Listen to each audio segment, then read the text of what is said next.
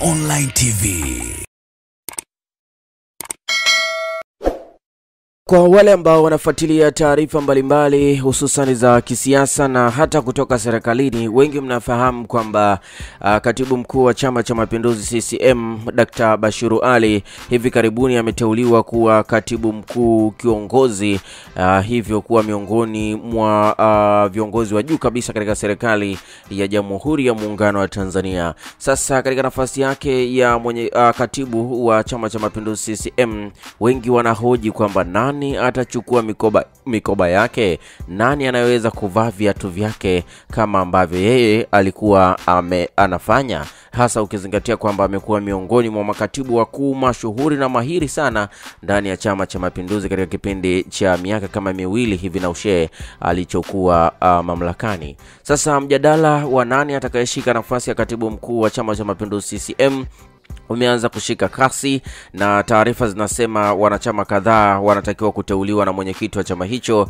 ambaye ni Rais Dr. John Pombe Magufuli kushika wadhifa huo.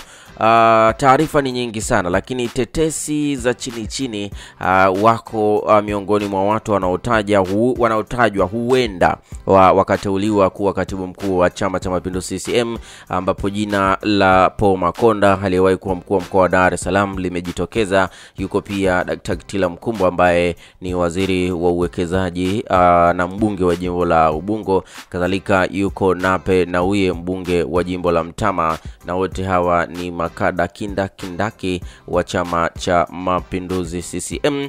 Uh, ukimtoa uh, Kitila Mkumbo kwa sasa ni mwana CCM, lakini historia inaonyesha kwamba amepita pia ACT Wazalendo kabla ya kung'atuka na kwenda zake Chama cha Mapinduzi CCM, ambapo amepata nafasi kubwa tu Uh, nakumbuka alikuwa katibu wizara ya maji, lakini vile vile baadaye akagombea ubunge na akashinda, na mwisho wa siku sasa hivi ni waziri wa uwekezaji. Kwa hiyo yako majina hayo matatu yanayotajwa katika tetesi, taarifa ambazo si rasmi kutoka Chama cha Mapinduzi, lakini uh, watu wanavumisha na tetesi zinaeleza kwamba majina haya matatu yanatajwa kwamba huenda eh, wakateuliwa na Rais Dr. John Pombe Magufuli, Paul Makonda, Kitila Mkumbo pamoja na Nape Nnauye. Nafasi ya katibu mkuu wa CCM imekuwa wazi baada ya Rais Magufuli kumteua aliyekuwa akishikilia nafasi hiyo Dr. Bashiru Ali kuteuliwa kuwa katibu uh, mkuu kiongozi. Dr. Bashiru anakalia kiti cha katibu mkuu kiongozi baada ya kufariki dunia kwa Balozi John Kijazi. Ilikuwa ni tarehe 17 Februari 2021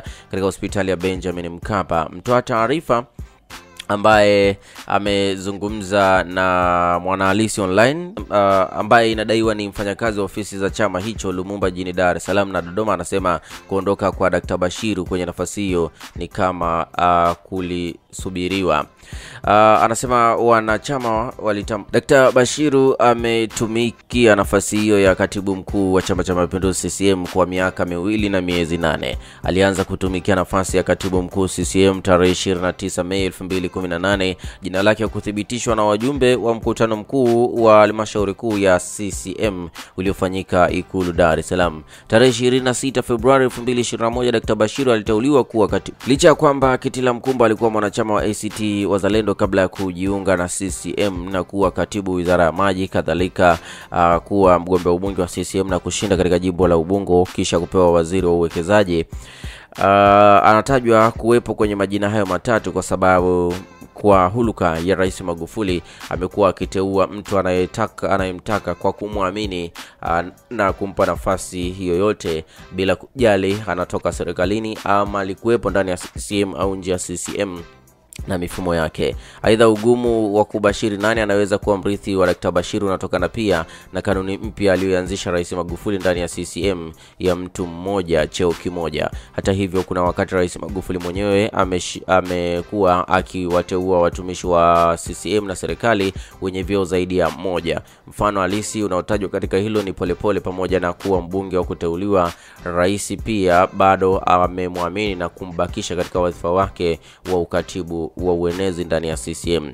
Nape anatajwa kuwa huenda akafanywa kuwa katibu mkuu wa chama hicho tawala kutokana na uzoefu wake wa uongozi ndani ya CCM na umri wa ufahamu na umri wake vilevile vile ufahamu wake wa baadhi ya mambo yanayohusu CCM na serikali yake. Hata hivyo, baadhi ya watu wanampa nafasi ndogo mwanasiasa huyo kuteuliwa kushika nafasi hiyo kutokana na kutojulikana msimamo wake halisi katika baadhi ya masuala mazito ya nchi. Kuna wakati Nape anakuwa na msimamo mkali kwa baadhi ya mambo, kuna wakati anaonekana kwenda kinyume na serikali na hata Uh, baadhi ya vitu vingine, lakini kuna wakati anaweza kuunga mkono kila anachotakiwa uh, kwa diri ambavyo anaona serikali ipo sahihi. Nape Makonda anabe, naye Makonda anabebwa na kukalia kwake ndani ya CCM na ushupavu wake wa kujibadilisha kutoa sehemu moja kwenda nyingine.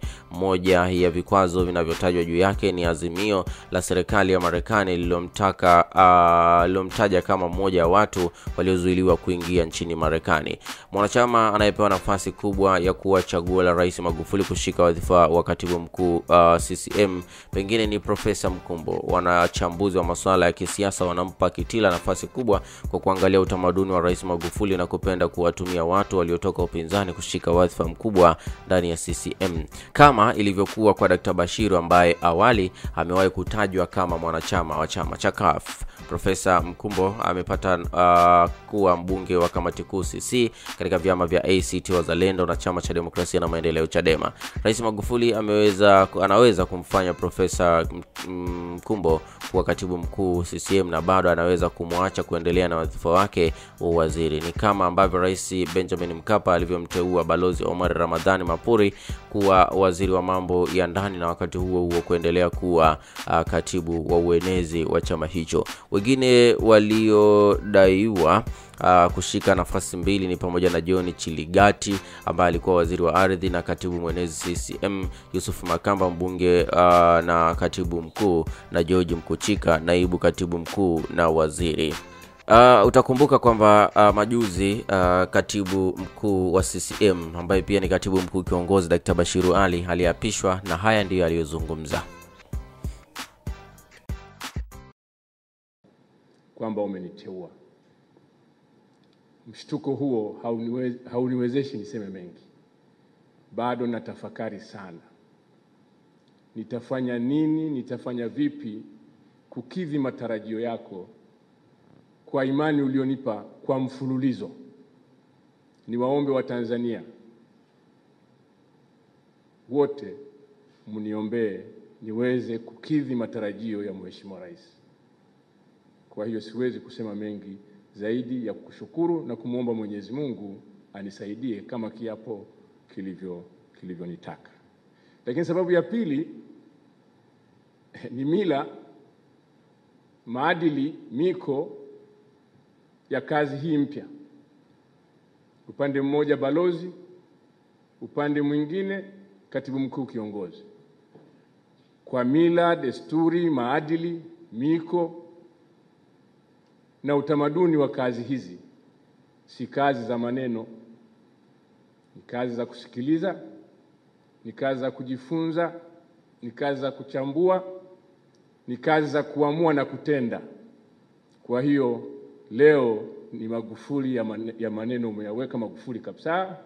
Wale waliotegemea kwamba nitazungumza tena, kwa kweli nitazungumza kwa tahadhari na kwa umakini, kwa sababu kiapo mmekisikia, ni katiba, ni sheria, ni taratibu, ni mila, ni desturi, na kuahidi Mheshimiwa Rais, sitakuangusha. Mwisho, niwaombe wenzangu wawe walimu wangu. Naona baadhi ya watendaji wakuu hapa, makatibu wakuu, nawaona mawaziri, wakuu wa vyombo vya ulinzi na usalama viongozi wakuu wa mihimili ya serikali yetu, kuweni walimu wangu, na mimi nawaahidi kuwa mwanafunzi mwepesi wa kujifunza. Na mwisho kabisa, tangu ulipoteuliwa na kuapishwa, ulianza ziara na nimekuwa nikifuatilia maelekezo yako ili tuweze kuyasimamia ndani ya chama kupitia serikali. Sasa hayo hayo niliyokuwa nayapeleka serikalini kupitia kwa Mheshimiwa Waziri Mkuu, ndio hayo hasa nimekabidhiwa leo.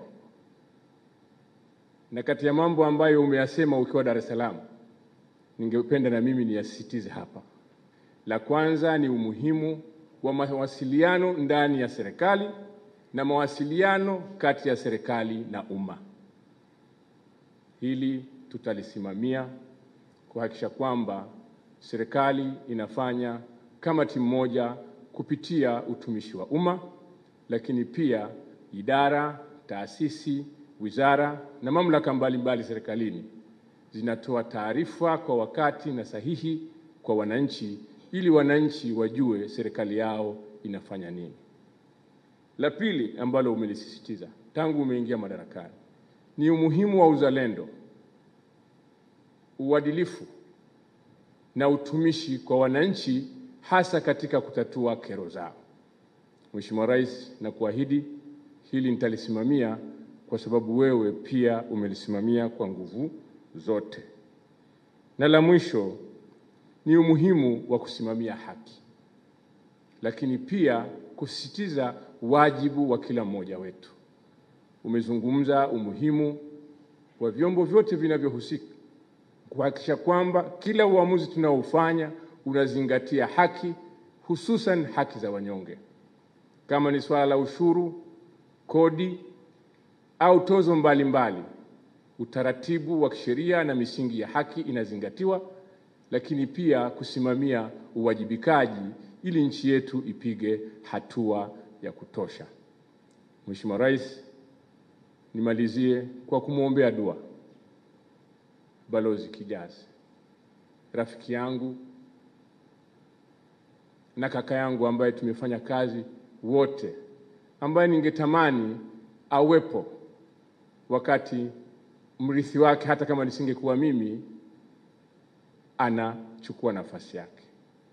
Mwenyezi Mungu amemchukua, lakini ametuachia hazina kubwa ya tabia njema, uungwana, uchapakazi na upole. Siwezi nikasema kwamba nitakuwa kama Kijazi, lakini namwomba Mwenyezi Mungu anibariki niweze kuendeleza yale ambayo alikuwa anayafanya wakati wa uongozi wake. Nakushukuru sana Mheshimiwa Rais kwa nafasi hii, asanteni sana. Asante sana Mheshimiwa Balozi Dr. Bashiru Ali Kakurwa, Katibu Mkuu Kiongozi